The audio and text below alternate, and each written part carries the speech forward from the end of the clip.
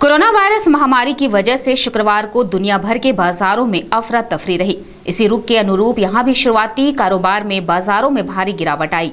BSE Sensex दिन में कारोबार के दौरान एक समय उनतीस हज़ार तीन सौ अठासी दशमलव संतानवे अंक पर आ गया। लेकिन बाद में निचले स्तर पर चली लिवाली के सिलसिले से इसमें 5,380 अंक का जोरदार सुधार दर्ज हुआ। सेंसेक्स की ज़्यादातर कंपनियों के शेयर लाभ के साथ बंद हुए।